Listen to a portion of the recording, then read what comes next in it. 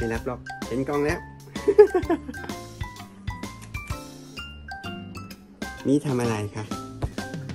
มีทำอะไรคะ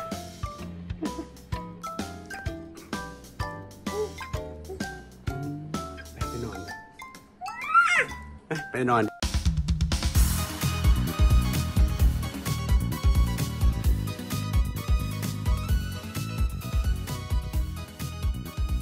ผมต้องใช้คำว่าอะไรดีครับเนี่ยเมื่อวานเราบอกว่า มันพักตัวครบแล้ว 3 วันใช่ไหมฮะ ก็คือแท่งนี้แท่งนี้แท่งนี้ครบ 3 วันเรียบร้อย ให้จับตาดูวันพฤหัสและวันศุกร์เป็นยังไง วันพฤหัสเรียบร้อย เรียบร้อยตรงนี้ ทีนี้ เดี๋ยวเรามาดูต่อไปโอ้สนุกดีเหมือนกันเนาะสนุกดีเหมือนกันนะเราวิเคราะห์กันวันต่อวันอย่างเงี้ยนะแล้วช่วงนี้แบบอื้อหือกำลังดีเลย ต่อไปทรงจะเป็นยังไงนะฮะ ต่อไปทรงตัวเซตเนี่ย มันจะย่อลงมาจนชิดแนวรับเลยครับหนึ่งสี่หกหนึ่งบวกลบแถวนี้แหละฮะ ทีนี้ลงมาชิดโซนนี้ก็จะมีการเด้งขึ้นนิดหน่อย แล้วก็ลงต่อ ใช่ไหมนี่เราพยากรณ์ไปอีกกี่สัปดาห์วะเนี่ย ไม่ต้องดูอัปเดตเซตเลยก็ได้เพราะสปอยไปหมดแล้วนะฮะ ก็ลงมาชิดแถวนี้เนาะอาจจะบวกลบนิดหน่อยนะแถวๆนี้แหละ แล้วก็เด้งแล้วก็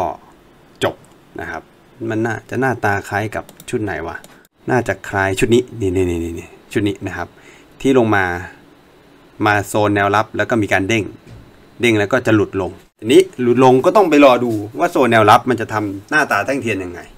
ก็เดี๋ยวค่อยวิเคราะห์ต่อแล้วกันนะครับ สวัสดีเพื่อนๆทุกคนครับ 7 เดือน 7 นะครับ วันนี้เรามาหาหุ้นที่มันเซลล์ดีไหมเนี่ยวันนี้เดี๋ยวผมจะพาเพื่อนๆมาหาหุ้นเซลล์นะครับว่า เราจะช็อปตัวไหนได้บ้าง หรือถ้าจะรอจะรอตัวไหน โอเคไหมแต่ก่อนอื่นเราไปดูข่าวของเรากันก่อนนะครับข่าวของเรา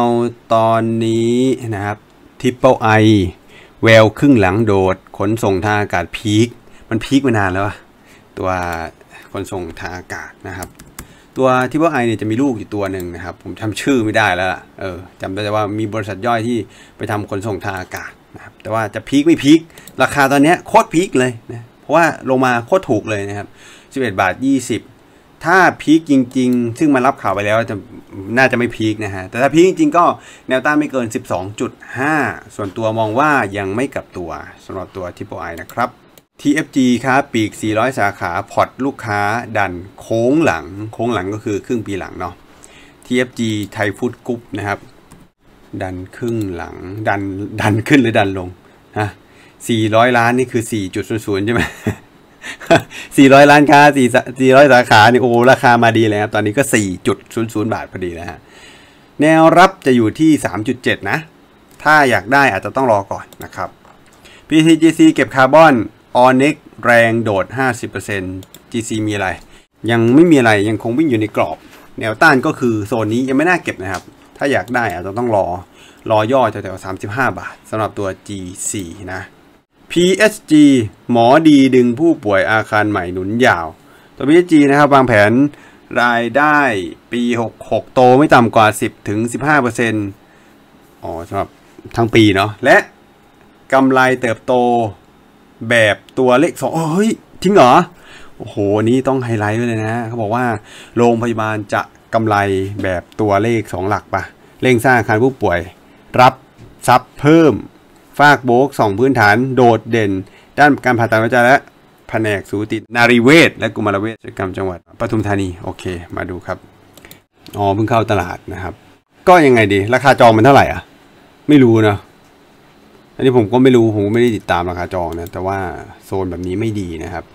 ถ้าเล่นวันนี้ก็พอเล่นได้ครับสต็อปลอสอยู่ที่ 15.70 ITC มูลค่าวูบ50,000 ล้าน รายใหญ่ กองทุนกระอักเลือดนะเพราะว่า Market Cap เขาหายไป หายไปเกินครึ่งว่ะอะอันมาดูตัว ITC อาหารสัตว์เลี้ยง ดู time frame day นะครับโอ้โหยังยังลงต่อนะ ตรงนี้เนี่ย มันไม่มีแนวรับเลย ก็น่าจะเจอแบบ 15 หรืออาจจะเจอ 13 ก็ได้นะครับธนา book backlog เข้า Q3 เปิดโครงการโค้งท้าย 800 ล้าน ธนาลุยเปิดโครงการใหม่ ท้ายปีมูลค่า 800 ล้านแย้มมีสินค้าครบทุก segment มั่นใจดันรายได้เข้าเป้าโต 20-30%อวด backlog เต็มหน้าตัก 160 ล้านจ่อ book ไตรมาส3ทับ66 คือเอามาล่อนะเอามาล่อก่อน เอาตัวเลขมาล่อก่อน แต่ว่าจะจริงไม่จริงยังไงก็ต้องติดตามดูต่อนะสำหรับตัวธนานี้ยังลงต่อนะ ตอนนี้ 2 บาทและก็น่าจะหลุด นะส่วนตัวมองหลุดนะฮะน่าจะไปเจอกันแถวๆนู่นแหละ 1.5 นะครับ ถัดมาคือ AS อ่าปลดล็อกแข่งราคาดัน Q2 กำไร 7.2 พันล้าน คือประมาณว่าไอ้ทูไปรวมกับดีแท็เนี่ย คือทูเนี่ย ถ้าเกิดใครเคยดูงบการเงินของทูมาก่อนนะครับ ก็จะรู้ว่าเป็นบริษัทที่ไม่แสวงหากำไรอะไรเลย คือขาดทุนทุกปีต่อเนื่องเป็นระยะเวลา ต้องเรียกว่าไม่เคยกำไรอะอะ แล้วการรวมกันอะ ดันทำให้ AS มีคู่แข่งที่ลดลง ก็ระเบิดเลยนะครับ ตรงนี้จะดีต่อ AS มากกว่าดีกับทูอีกนะอะเรามาดู Advance Advance สวยนะครับ ตรงนี้ต้องมองยาวๆอะ แนวต้านจะอยู่ที่ 240 แต่ถ้าเกิดมองสั้นๆ เป็นไซด์เวย์ตัวนี้ไม่น่าเล่นนะฮะ ถ้าเกิดอยากได้จะต้องรอ 210 บาทนะครับ หมาป่าแห่ง Wall Street นะฮะมีอะไรมีชาโยแล้วก็ BBGI เพราะว่าชาโยปิด job ครึ่งปีแรกอย่างสวย อย่างสวยนี่กราฟอย่างโซเลยนะฮะชาโย เกิด new low เออโซนนี้เนี่ยเป็นลักษณะของการทำฐาน พอได้ถ้าเกิดอยากจะเล่นก็โซนนี้ แต่ว่า stop loss คือ 5 บาท 40 นะ ไหวไหม นะครับแล้วก็อีกตัวหนึ่งคือ BBGI ก้าวนำพลังงานแห่งอนาคตนะครับ BBGI ก็บูบเหมือนกัน เกิดนิวโลปะออทามโลนะ แห่งอนาคตไม่รู้ว่าอนาคตที่สดใสหรือว่าอนาคตอะไรนะ แต่ว่ายังคงเป็นขาลงอยู่นะครับ แนวรับก็ถ้าเกิดหลุด 5 บาทนี้น่าจะลงยาวเลยนะก็ยังไม่มีแนวรับให้นะครับ แล้วก็ตัว a d v a n c e อ่านไปแล้วเนาะมีไบเดนอีกนะครับ มีอะไรเนี่ยออร่าแจ้งเตือน เพจ Facebook ปลอมหลอกชักชวนลงทุน ที่ล่วงเพราะอันนี้เหรอฮะคือใน Facebook ตอนนี้นะ เต็มไปด้วยเพจปลอมนะ ยกตัวอย่างเช่นตัวอมตะนะเอาหน้าคุณวิกรมนะขึ้นหลาเลยนะฮะเพจฟินแลนเซียเนี่ยนะเอาหน้าคุณเอนุสลานะเพจอะไรอีกออร่าออร่านี่ก็เจอบ่อย อะไรอีก OR ปตทพวกนี้เจอบ่อยนะครับ อย่าไปหลงเชื่ออะไรพวกนี้นะ สำหรับมือเก่าอย่างพวกเราก็คงพอเข้าใจได้ แต่มือใหม่เนี่ยมาถามผมทุกวันเลยแบบเฮ้ย เนี่ยโอนตังเข้าไปแล้วนะจะถอนตังยังไง เขาบอกว่าให้ให้เทรดก่อนสองสามไม้ แล้วค่อยถอนตังอะไรก็ไม่รู้อะเยอะแยะไปหมดเลยเอาหน้าเพจขึ้นมาสตรีมมิ่งว่างั้น แต่ว่าเป็นสตรีมมิ่งปลอมนะครับ หน้าตาก็ไม่เหมือนกับสตรีมมิ่งที่เราใช้ด้วยนะ อืมโอเคอ่าขอดูออร่านิดนึงแล้วกันนะครับรวมเพราะเพจปลอมเหรอมันเป็นไปไม่ได้ ออร่ายังคงเป็นขาลงอยู่แนวรับนะจะอยู่ที่ 13.60 ครับอ้อนี่ SNNP ที่เราอ่านข่าวไปเมื่อวานนะฮะแตกลายธุรกิจสินค้าเจลลี่สีรสชาติใหม่ ไปหามาชิม โอ้เขามีการไปfeaturing กับเมจิกฟาร์มด้วยนะเนี่ยเมจิกฟาร์มเห็นไหมวุ้นเจลลี่วุ้นมะพร้าวนะครับ มีเจเล่ชิววี่เจลลี่ เจเล่ชิววี่กินสละกับกินโคลาแล้วก็เจลลี่น้ำเฉาก๊วย และเนื้อเฉาก๊วย เออว่ะ ก็ไปได้นะเดี๋ยวเดี๋ยวต้องหามาชิม ใครที่ชิมแล้วมาบอกหน่อยนะว่าอร่อยไม่อร่อยคือคือของแบบนี้มันมันดูง่ายเลยถ้าอร่อยเนี่ยไปแน่นอนครับ แต่ถ้าไม่อร่อยก็อีกด้านหนึ่งโอเคนะฮะสำหรับข่าวก็ประมาณนี้เดี๋ยวขอดู S&P ปิดท้ายนะวายโซนนี้โซนแนวรับนะครับ S&P แนวรับก็คือ 22 บาทนี่แหละนะครับ แล้วก็แนวต้านประมาณ 25.4โอเค เดี๋ยวเรามาดูหุ้นที่เราจะช็อปใช่ไหมเจ็ดเดือน 7 มีอะไรบ้างนะครับ เมื่อวานเมื่อวานมีดูโฮม ดูโฮมร่วงลงมาทำต่ำสุดอยู่ที่ 10.2 ถ้าร่วงแบบนี้ ผมคิดว่าแรงแน่นอนยังไงก็ร่วงต่อนะครับ แต่ในชุดของการร่วงต่อเนี่ย ก็ต้องดูว่าเราจะเอายังไงจะแบบ เอ๊เด้งขึ้นมาจะมีการแบ่งขายไหมอ่าอยากให้ดูในชุดชุดไหนดี เอาชุดนี้แล้วกัน ชุดของการทำฐานเห็นไหมชุดนี้นะ ชุดของการทำฐานพอร่วงปุ๊บมันร่วงลงเลยนะ มันล่วงจากฐานตรงนี้เท่าไหร่สิบสองจุดแปดห้าล่วงลงมาสิบเอ็ดจุดห้าก็ล่วงประมาณโอ้เจ็ดเปอร์เซ็นต์ป่ะเออเนี่ยล่วงมาเจ็ดเปอร์เซ็นต์แต่อันเนี้ยเกินแล้วล่ะ ผมดูวันนี้แค่วันนี้ก็ล่วงเก้าเปอร์เซ็นต์ละอะดูโฮมจะยังคงล่วงลงต่อนะครับ มันจะมีแนวรับตรงไหน ดูมีมีแนวรับตรงนี้ครับ9บาท 30แต่แถวนี้นะโอเคต่อด้วยตัว global นะเรายังคงอยู่ในสินค้าอุปกรณ์ตกแต่งบ้านใช่ไหมแล้วก็อุปกรณ์ก่อสร้างนะครับ ตัว global เนี่ยก็ร่วมเหมือนกันน่าจะร่วมเพราะราคาเหล็กแหละทั้งคู่นะเออเหล็กมันเป็นขาลงเนาะทีนี้สำหรับตัว global นะครับจะมีแนวรับอยู่โซน 13.9 ก็ประมาณ 14 บาทนะ global ต่อด้วยตัว eon เออพอเราไปช็อปสินค้าตกแต่งบ้านใช่ไหมเราไม่ใช้เงินสด เรารูด eon eon ก็เละเหมือนกันนะฮะ eon เนี่ยลงมาถึง 170 บาทส่วนนี้ไม่ใช่แนวรับนะครับ แนวรับของเขาจะอยู่ที่ 160 นี่น่าสนสนใจเลยนะ 160 ต่ำสุดมันไปทำ150 นะ ในกรอบที่ผ่านมาเนี่ยไม่ไม่เคยต่ำกว่านี้ ผมคิดว่าน่าจะเป็นแนวรับที่ดี เพราะฉะนั้นถ้าเกิดอยากจะรอก็รอแถวๆ150 จนถึง 160 บาทนะครับอีออน ปลอดแตกไปแล้วนะฮะ เรามาอีกร้านค้าหนึ่งครับ ขายกางเกงยีนฮะ กับหุ้นแม็กครับแม็กน่าจะขาดแล้ว กางเกงขาดแล้ว เออ แต่ถ้าขาดสวยๆก็พอพอโอเคใช่ไหมอ่านะฮะชุดนี้เนี่ยล่วงลงมาเหลือ 11.6เนี่ยไม่มีแนวรับเลยนะครับ ก็ยังจะคงล่วงต่อเนาะเพราะว่าไอ้แม็กเป็นหุ้นทรง A นะครับ ก็ล่วงน่าจะไปเจอ 11 บาทท้วน หรือไม่ก็ 10 บาท 80แถวๆนี้มีแนวรับอยู่ข้างล่าง ผัดจากร้านกางเกงยีน เรามาดูบัตรกันบ้างนะบัตร KTC ตอนนี้ทำนิวโลในกรอบระยะเวลาตั้งแต่อืม2021 2022 2023 อะ นี่โลมาตลอด 3 ปีนี่ทำทำโลใหม่โลใหม่มาเรื่อยๆเลยนะฮะ ตรงเนี้ยไม่ใช่แนวรับด้วย เพราะว่ามันหลุดแนวรับไปแล้ว เรามาเจอแนวรับถัดไปจะอยู่ที่ 40 บาท ยังมีดาวไซด์เกิน 10%นะ เพราะฉะนั้นถ้าจะมาเก็บจับจองจะมารีบเปิดบัตรตอนนี้ยังไม่ใช่จังหวะ อาจจะต้องรอก่อนนะครับ แล้วก็พอจากบัตรแล้วเราก็คอแห้ง แล้วก็ไปเติมน้ำหวานกันหน่อยกับหุ้น plus plus เนี่ยยังอยู่กับโซนฐานนะโซนฐานเนี่ยชุดนี้เนี่ยหลุดแน่นอนนะฮะ 6.3 นี่ยังไงก็หลุด แต่จะไปเจอกันข้างล่างก็คือ 5.8 นี่ราคาก็ถือว่าค่อนข้างถูกแล้วก็น่าสนใจ ก็ไปลองดูนะครับ ถ้าใครขาดความหวาน ไปเติมน้ำมะพร้าวกันหน่อยนิดนึงนะฮะ ก็ประมาณ 6 บาท 5.8 บวกลบนิดหน่อยนะครับ พอเติมหวานเสร็จปุ๊บน้ำตาลขึ้นทำไง ไปร้านยาใช่ไหมเฮลท์ลีดเฮลท์ลีดก็ร่วงเหมือนกันนะครับ เฮลลีดนี่มีฐานอยู่ที่ 12.8 นะ ผมคิดว่า อันนี้ความเห็นส่วนตัวล้วนๆนะ หลุดลงแน่นอนครับ ใครอยากเป็นเจ้าของร้านยาตอนนี้ราคา 13 บาทกว่านี่อาจจะยังไม่เหมาะ ผมคิดว่าอาจจะเจอเลขหลักเดียว เอาจริง อ่าสำหรับรอบนี้เจอเลขหลักเดียวแน่ๆของเฮลลีดนะครับ ก็ใครที่ชอบอะ ผมว่าไปรอกันข้างล่างเลยนะถัดจากเฮลลีดนะร้านยาเราก็ไปดูห้างกันบ้างอ่า CP Acta ชื่อเดิมคือ Macro นะครับ เลขตุ้มเป๊ะเหมือนกันแต่ว่าตัว CP Acta เนี่ย จะมีแนวรับอยู่ใกล้ๆนะใกล้ ๆ นิดเดียวนะครับ ตอนนี้ราคาอยู่ที่ 33 แล้วก็เหลือ 32 เนี่ย แนวรับจะอยู่ที่ 32 นะครับ ตัวนี้นน่าสนใจเลยนะครับ เพราะว่ามันเป็นแนวรับที่ค่อนข้างดีแล้วก็รับอยู่ แต่ว่าให้บวกลบนิดนึง เพราะว่าตัว CP Acta โดยปกติแล้วมันมันจะหลุดก่อนแล้วค่อยดึงนึกออกไหมเพราะฉะนั้นถ้าแนวรับก็อาจจะแบบไปรอแบบ ใกล้ๆ 30 บาท ซื้อแล้วก็รอเด้งโซนประมาณนี้นะครับ พอหลุดจาก CP Acta ไปสุดท้ายฮะ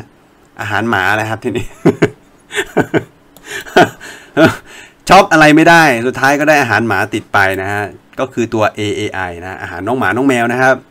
AI เกิด all time low low ที่สุดในชีวิตราคาจองนี่อยู่ 5 บาท 55 มาแบบขำๆเลยอะ5 5 5 ตอนนี้ไม่ขำอะขำไม่ออกเพราะว่าเหลือ 3 3 8 แล้วก็ยังคงเป็นขาลงอยู่นะครับ แนวรับทางจิตวิทยาอยู่ที่ 3 บาท แต่โดยส่วนตัวคิดว่าไม่อยู่ ไม่น่าจะอยู่เหมือนกันครับ ถึงเงินบาทจะต้องเรียกว่าไงอะเงินบาทจะอ่อน มีผลดีต่อธุรกิจกลุ่มนี้ แต่ด้วย core business อะมันขายลดลง ยังไงยังไงก็สู้ไม่ได้นะครับอะก็ดูเอาเองแล้วกันนะฮะจะไปช็อปตัวไหนวันที่ 7 เดือน 7 ก็ลองดูครับ แต่ถ้าเกิดมันยังไม่ใช่แนวรับผมคิดว่าถ้ารอไปก่อน อาจจะได้ 8 เดือน 8 ก็ได้นะ เออไม่จำเป็นที่ต้องรีบนะฮะแล้วก็ช่วงนี้ของถูกค่อนข้างเยอะ ใครที่จะเข้าไปจับจองอะไรยังไงเนี่ย ผมแนะนำว่าให้เข้าไปน้อยๆก่อน แล้วก็กำเงินส่วนใหญ่เนี่ยเอาไว้รออยู่ข้างล่างนะครับ ใครที่จะไปเฝ้าหน้าเทรดหรือจะไปช็อปของไปไปได้เลยฮะส่วนใครที่ถามคำถามทิ้งไว้ เดี๋ยวเรามาพูดคุยต่อในช่วงท้ายคลิป แล้วก็จังหวะเนี้ยช่วงที่เป็นหุ้นขาลงเน่ะผมแนะนำจริงนะ หาเวลามาศึกษาดีกว่า เออ ยังไม่จำเป็นที่ต้องรีบกระโดดเข้าไปเล่นหุ้นเนี่ย เดี๋ยวมันจะช้านะราคาหุ้นมันลง ผมแนะนำครับ คุณต้องมีความรู้ก่อน และตอนนี้ผมนะฮะได้เขียนอีบุ๊กที่มีชื่อว่า สอนอ่านกราฟหุ้นมือใหม่เป็นอีบุ๊กเล่มขาวครับ ใครที่สนใจอยากจะฝึกการอ่านกราฟเทคนิคแบบเบื้องต้นเลยอะก็สามารถที่จะเริ่มต้นได้ในอีบุ๊กเล่มนี้นะครับ ใครที่สนใจสามารถสอบถามได้ที่ Line แอดมันนี่ฮีโร่แล้วก็สำหรับผู้ที่ซื้อไป ก็ยังได้รับคำปรึกษาจากผมเป็นระยะเวลา 3 เดือน ไม่เก่งให้มันรู้กันไปใช่ไหม โอเคอ่าแล้วก็ตรงนี้นะครับมันนี่ฮีโร่เราทำสมาชิกแล้วนะฮะใครที่อยากจะสมัครเป็นสมาชิกช่องของมันนี่โลก็มีตรงนี้กดสมัครได้เลย เราจะมีคอนเทนต์พิเศษ ซึ่งผมจะทำคอนเทนต์ในการสอนหุ้น เป็นเทคนิคต่างๆครับ ไม่ว่าจะเป็นเรื่องของการดูกราฟ การดูงบการเงิน การดูงบหลอกทำยังไง ผมรวบรวมไปแล้วในสมาชิกนะครับ สนใจอยากจะเข้าไปดูกดสมัครตรงนี้ได้เลยครับ เดี๋ยวเรามาดูต่อครับอ้ออีกเรื่องหนึ่งเผื่อหาไม่เจอแอดไลน์มาถามนะ ที่ไลน์แอดมันนี่โรครับผม สุดท้ายจริงฮะเขาบอกว่าขอแนวโน้ม TS ทุน 0.97 ควรถือต่อหรือพอแค่นี้ผมครับ ผมขอพูดได้ไหม คืออย่างนี้ TS เนี่ยมันเป็นขาลงขาลงอยู่แล้ว ประเด็นคือเราเข้าไปซื้อที่ 97 สตางค์เนี่ย เราต้องการอะไร อะ ผมเปิด TS ให้ดู เนี่ยฮะ ทุนมันก็อยู่แถวเนี้ย ราคามันก็คือตรงนี้เลยฮะ97 ตังค์เนี่ยครับเนี่ยฮะเนี่ยแล้วมันก็อยู่ตรงเนี้ยมาสักระยะหนึ่งแล้วนะ ประมาณ 2 สัปดาห์ ควรถือต่อหรือพอแค่เนี้ย จริงๆ ผมอยากจะแนะนำว่าควรพอแค่นี้ไม่ไม่ใช่แบบ ไม่ใช่หมายถึงหุ้นตัวนี้นะ หมายถึงเราอะเราอะแหละ เราเนี่ยควรพอแค่นี้ก่อน อย่าพึ่ง เพราะว่าเรายังไม่เข้าใจกระบวนการอะไรเลย เราซื้อปุ๊บนไหมปั๊บซื้อ 97 ตังค์ปั๊บมาปุ๊บถามคำถามเลยอ่าทุน 97 ตังค์ควรถือต่อดีไหมครับ หรือจะพอแค่นี้ นึกออกไหมคือเข้ามาอย่างเงี้ย ผมบอกเลยว่าตายเปล่า ไม่มีประโยชน์ ให้ศึกษาก่อน แล้วก็ก่อนที่จะซื้อเนี่ย เราจะต้องรู้ว่าเราเราซื้อไปเพื่ออะไร แล้วจุดขายเราอยู่ตรงไหน stop loss เราอยู่ตรงไหน อันนี้คือ basic ที่เราจะต้องรู้ก่อนที่จะซื้อหุ้น นะแต่ถ้าซื้อมาแล้วมาถามนี้ผมบอกเลยว่าโอกาสในการขาดทุนสูง ไม่ว่าหุ้นจะสวิงขึ้น หรือขึ้นมาก คุณก็จะขาดทุนอยู่ดี ผมบอกได้เลยนะครับ ขอแนะนำแซมเทลหน่อยครับทุน 4.62แซมเทล4.6 ไปเล่นโซนไล่ราคาเออจริง ๆ มันต้อง stop นะครับเนี่ยเราเรามาเล่นโซนเนี้ยถามว่ามันเล่นได้ไหมเล่นได้ครับ ต้องเล่นขาขึ้นนะไม่ใช่ขาลงเนี่ยตรงนี้ขาลงไม่ไม่ควรเล่น ถ้าเล่นขาขึ้นตรงเนี้ย แล้วมันติดเนี่ยมันต้อง cut นะฮะ 4.60เนี่ยมันต้อง cut แหละ เพราะมันมันหลุด gap ลงมาแล้ว หรือไม่ก็โอ้โหตรงนี้ 4.26 ก็ต้อง cut แล้วนะครับ เพราะว่าการทำฐานเราไม่รู้ว่าเขาจะทำนานแค่ไหน แล้วก็ชุดนี้มีโอกาสที่จะหลุดโลได้ด้วย โลอยู่ที่ 3.9 S&P สินค้าใหม่คือเยลลี่ขอบคุณมากครับขอแนะนำติดล้อ ติดล้อหุ้นที่ไม่เคยสัมผัสกับคำว่าขาขึ้นใช่ไหมโอ้มาแล้วนะ เออนะตอนนี้เป็น V shape สวย รอเขียวแรก ใครอยากเล่นติดล้อนะ รอเขียวแรก ยังไม่เกิด นี่ตรงนี้ ถ้าเขียวแรกมาตรงไหนอะจุดซื้ออยู่ตรงนั้นนะครับ ขอถามความเห็น DIF เพิ่งเข้าทุน 10.7 2,000 หุ้น ตั้งใจจะสะสมเพิ่มเรื่อยๆ ไว้กินปันผล ได้ยินว่าเหลือสัญญาอีก 18 ปี ถ้าถึงแล้วจะมีผลอย่างไรคะ 18 ปีนี้คือสัญญาอะไรฮะ ตัว Infrastructure Fund เนี่ยนะครับ สภาพมันคือกองทุนเนาะที่มีวันหมดอายุกับ ตัวที่มันไม่มีไม่มีวันหมดอายุสำหรับตัว DAF เนี่ยมันไม่หมดอายุ ทีนี้สัญญา 18 ปีเนี่ยผมไม่แน่ใจว่ามันเป็นสัญญากับ True หรือเปล่าคำว่า 18 ปีเนี่ยมันก็นานเพียงพออยู่นะ ที่จะอะไรอะไรนะเออเพราะฉะนั้นผมมองว่าเราที่ถือหุ้น อันนี้ขออนุญาตนะที่ผมเจอส่วนใหญ่เนี่ยที่ตั้งใจจะถือยาวเป็นระยะเวลา 3 สัปดาห์เนี่ยทุกคนก็จะบอกว่ายาว ถือยาวแค่ไหน ถือมามานานมากแล้วฮะถือมา สองอาทิตย์ล้วถือมาห้าวันนี่นานสุดขาดใจแล้วอย่างเงี้ยเออถือไปเรื่อยปีกินผลเนี่ยผมว่าสัญญา 18 ปีเนี่ยนานเพียงพอที่จะทำให้เราตัดสินใจอะไรอะไรได้นะครับทีนี้ราคาของ DAF เนี่ยถ้าให้ดีเลยนะครับผมแนะนำว่าอาจจะต้องรอแบบ 10 บาททวนหรือแบบ 10 บาท 10 อะไรแถวๆเนี้ยน่าจะดีนะฮะเพราะว่ายิ่งต้นทุนแพงปันผลที่คุณอยากได้เนี่ยมันก็ยิ่งจะต่ำนะว่านะครับควรรับที่เท่าไหร่ดีครับยังไม่มีของ คำถามนี้อันตรายมากนะอันตรายต่อตัวคุณมากเลยนะ เพราะว่าเราไม่รู้ว่าจริง ๆ แล้วผู้ถามเนี่ยต้องการอะไรนะเป็นการเทรดในระยะสั้น ระยะกลาง ระยะยาว กินบันผล ชอบธุรกิจหรือชอบอะไรเออแต่อีกอย่างหนึ่งนะครับนี่ผมยังไม่ได้เปิดกราฟดูนะ ผมก็คิดว่าตัววาเนี่ยมันไม่ใช่จุดที่น่าจะเล่นแล้วเพราะว่ามันไล่กันมาไกลมากๆแล้วถ้าจะมากินปันผล โซนเนี้ยมันก็ไม่น่าสนใจละมันมาไล่ราคาเลยตรงเนี้ยมันมันไม่น่าสนใจแล้วนะครับ เวลาตอนรอย่อเราก็ไม่รู้ว่าพอย่อเสร็จปุ๊บส่งกราฟมันจะเป็นยังไงเออเพราะฉะนั้นตรงเนี้ยมันค่อนข้างจะเป็นปลายทางแหละมาเล่นตรงนี้ ก็ต้นทุนก็เสียเปรียบ ปันผลก็เสียเปรียบ เสียเปรียบทุกอย่างอะ่ะนี่มันเป็นshooting star ด้วยเนี่ยนะครับ น่าจะย่อเนาะ PLANET อยู่ในโหมดกลับตัวไปต่อหรือเปล่าครับ PLANET อยู่ในโหมดโหมด ไม่ชุดนี้เป็นชุดของการทำฐานนะครับ ยังไม่ไปแน่นอนครับ ตัวนี้ยังไงก็ย่อครับ แนวรับจะอยู่ในโซน 80 ตังค์แค่นั้นนะฮะขอความรู้แนวรับแนวต้านคลิป 6 กค 66 โอเค คลิปเมื่อวานนะฮะอาจารย์ว่ากันกุลไม่มีแนวรับแนวต้าน แต่ผมเข้าใจว่าแนวรับคือโล ล่าสุด 2.98 และต้านคือ 4.2 แบบนี้ผมเข้าใจถูกหรือผิดครับ โอเคนะฮะตาเสือใช่ไหมพยักศักดิ์มามาดูครับตัวกันกุล พอดีว่ามีคนถามในในคำถามนั้นว่าแนวรับแนวต้านของกันกุลคืออะไรนะครับ ผมก็จะบอกว่ามันไม่มีแนวต้านเออแล้วมันก็ไม่ควรจะมีแนวรับด้วย เพราะว่ากันกุลมันมันเป็นขาลงที่แบบลงแรงมากๆเลยนะครับ และสภาพเนี่ยก็น่าจะหลุดด้วย ก็เลยบอกว่ามันไม่มีแนวรับแนวต้าน เพราะต้านยังไงก็ไม่ถึงไม่ชน หนำซ้ำตัวรับ 2.98 ผมคิดว่ารับไม่ได้นะครับแต่ป้าเสือบอกว่า เขามองว่าตัวแนวรับนี่คือโลล่าสุด 2.98 และต้านคือ 4.22 ได้ไหม 4.2 ผมตีให้นะครับ ว่ามันคือตรงตรงนี้เพื่อนๆจะได้เห็น นี่ประมาณนี้เนาะใช่ไหมครับ แล้วก็แนวรับอยู่ตรงนี้อะป๋าจะคิดอย่างนี้ก็ได้ แต่มันจะต้องมีสัญญาณกับตัวซะก่อน ซึ่งมันยังไม่เกิด ขนาดโซนเนี้ยมันยังหลุดเลย ตั้งลำสวยขนาดนี้ก็ยังหลุดนึกออกไหมครับ เพราะฉะนั้นผมยังมองฟอลโล่เป็นขาลงอยู่ ก็เลยไม่มีแนวรับแนวต้านนั่นเองนะครับกันกุลทุน 3.48 อ๋อปามีกันกุลด้วย ขอแนวโน้มแนวรับแนวต้าน มันไม่มีครับป๋ามันจะลงไปเรื่อยๆครับ อันนี้ผมก็คิดว่าหลุดนะครับ 2.98 ผมผมก็คิดว่าหลุดครับ แอบถามหุ้นสักตัว BCPG ทุน 9.1 คัด 8.8อ๋อใช้ได้นะ แคบมาก เทคยาวๆสัก 13 ว้าว ยาวมาก อะขอคำแนะนำมาดูฮะว่ามันมีโอกาสจะเป็นไปได้ไหม BCPG เทคยาวๆ สัก 13 ตอบได้เลยว่าเป็นไปไม่ได้ เนี่ย 13มาอยู่ตรงนี้นะครับ13อยู่ตรงนี้